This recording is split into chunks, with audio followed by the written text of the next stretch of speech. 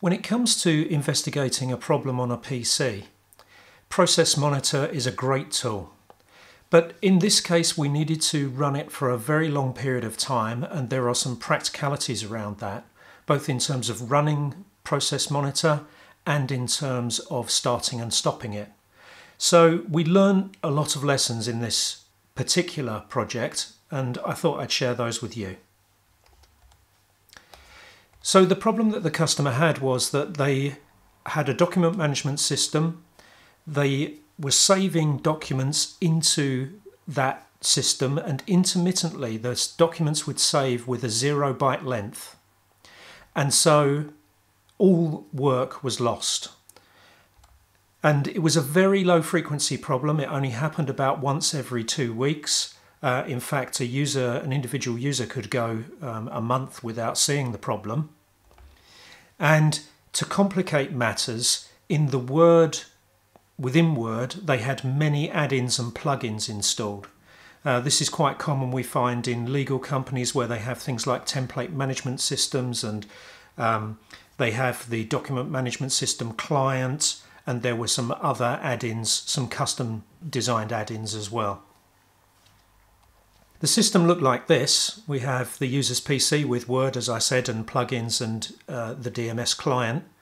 Then we have the DMS application server. We have a database that contains metadata for the documents that are stored in the DMS. And we have a file store, um, which is just a straightforward SMB server, which actually saves the files. The data flows are mainly between the PC and a particular directory, which is called NR Portable. It doesn't really matter, but it's a local directory on the C drive of the PC. And then we have traffic that flows to port 1081 on the DMS server. And that's the file port. And what happens is that we actually send saved document data to that port. What we discovered was that when Word closes a document after it's been modified, the template management system would intercept the close and it would fiddle around with the document. Then um, the DMS client would get involved, and then a, a user or a customer built plugin. And all of these different pieces of software had the opportunity to change attributes with the file or even um, delete all the data associated with the file. And of course, the uh, customer didn't have any idea which one of these plugins was actually giving a problem. Now the file goes through several stages, which we'll see in a minute in a trace. And what we wanted to do was capture all of the interactions with both the local C drive and with port 1081. So let's have a look at Process Monitor tracing the normal operation of the updating of a file and then the saving back into the document management system. Now let me start by explaining the filtering that was applied to capture this data. You can see that it's a relatively no, low number of events. If you've ever start, started Procmon on a PC without any filtering, you'll know that it will record hundreds of thousands of events very quickly. But this has quite a tight filter. And you can see the filter is just looking at all interactions with the winword.exe process or any winword.exe processes actually to be more correct. And within that, we want to see any activity to the NR portable directory. And also we want to see activity to the DMS ports. And we can do all of this by entering appropriate path filters. What we've also done is we've excluded profiling events, process and thread events, and any registry interactions. I simply want to see the file system activity and the TCP IP activity. Now here in this first entry we see an indication of the file names that are used. So although a file has a normal name like it could say uh, case 345, the document management system abstracts itself from associating the file name with the actual file as it's stored on the file store and it uses a serial number. So we have a serial number followed by a revision number. So there's the, this is the serial number and this is revision number two.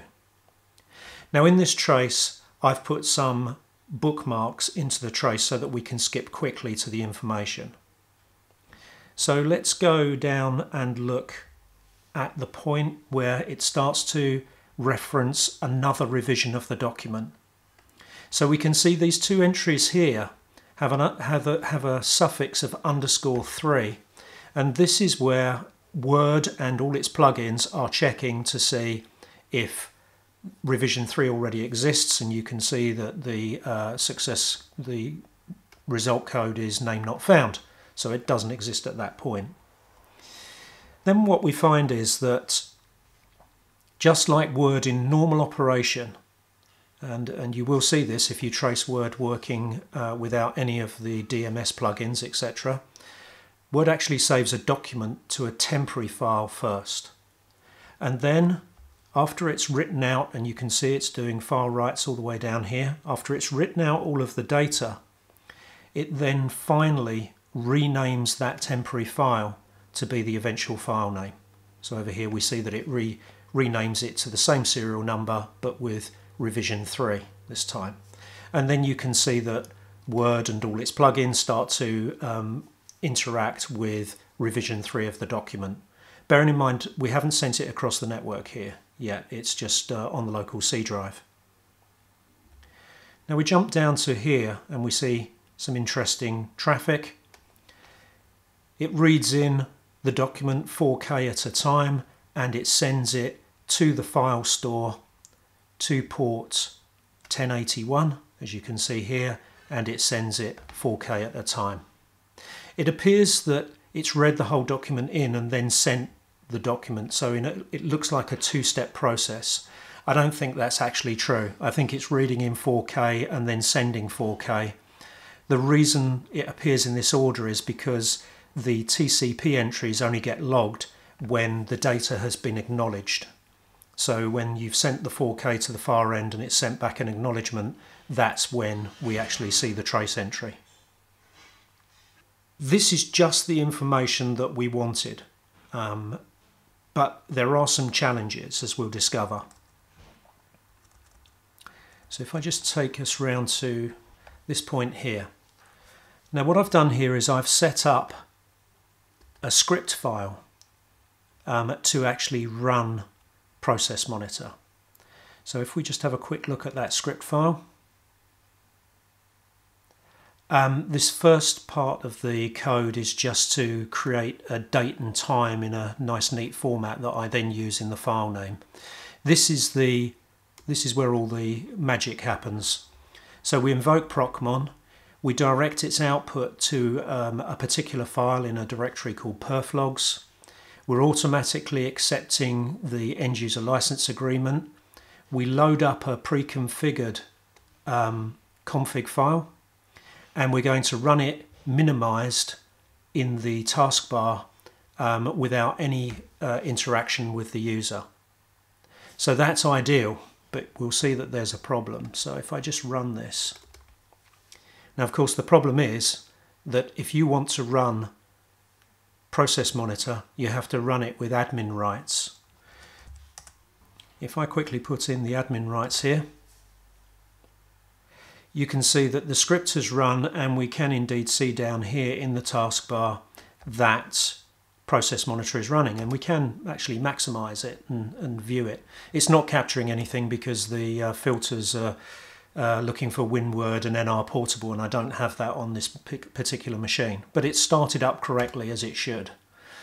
But the problem is, of course, that if we wanted to deploy this to users all around an organization and to run it for a long period of time, we would literally have to either give the user the admin rights or we'd have to go and visit every desk every time the user started their PC, which obviously is not practical. Now, the way around this is to actually start it with a scheduled task. So if I look at task scheduler, whoops, just here, and I'm going to run task scheduler as a one-time thing with admin rights.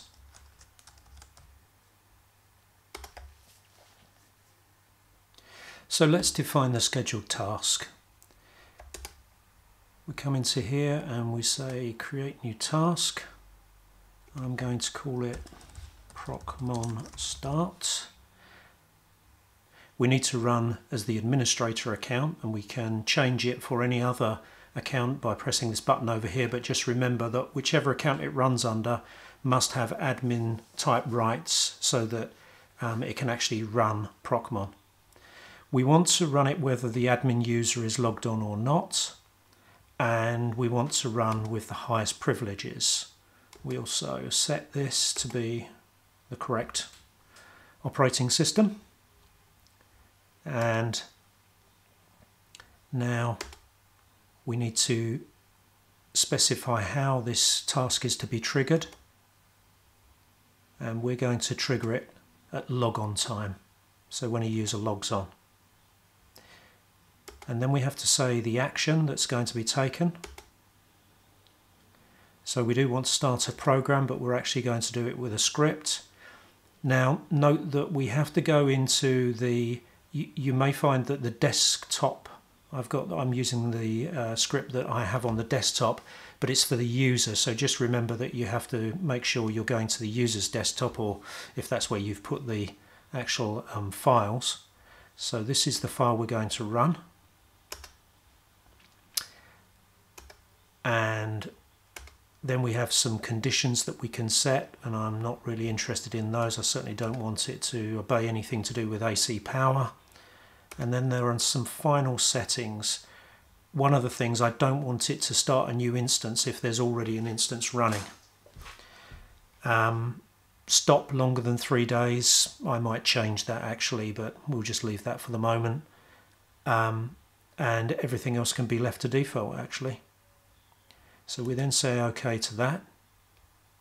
Now it's prompting us now because we're telling Windows to run something as admin.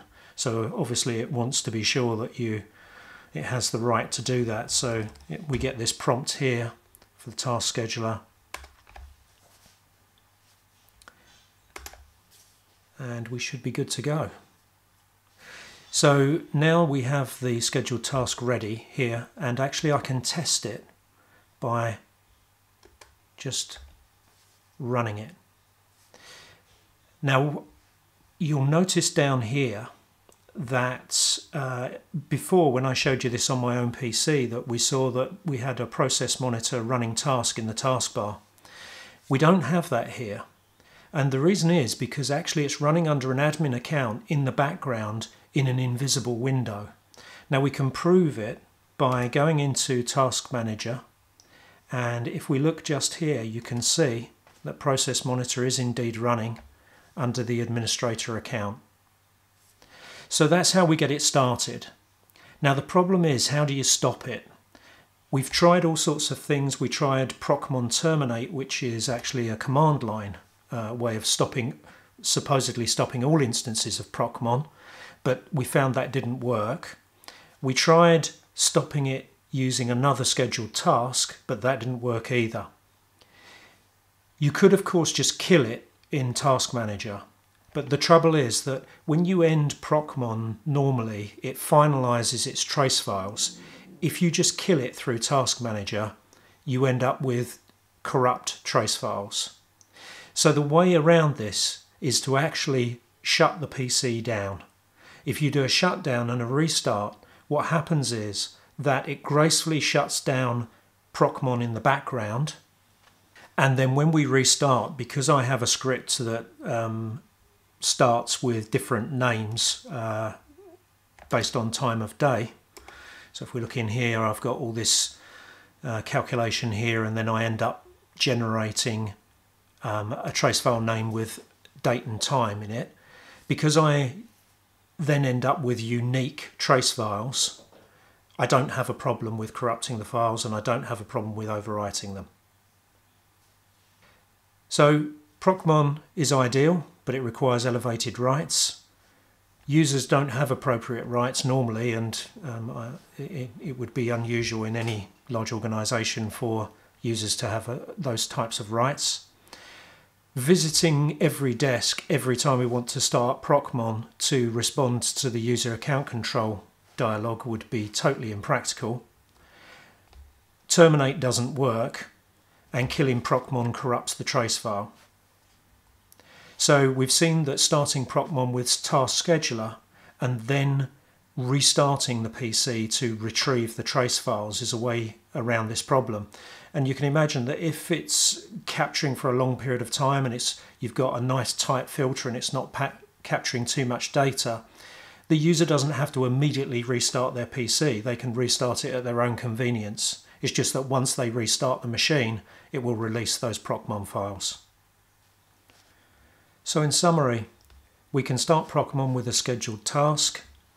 We can set an option to leave existing Procmon tasks running on logon. And when the problem occurs, we can ask the user to restart the PC at their convenience and then retrieve the Procmon traces.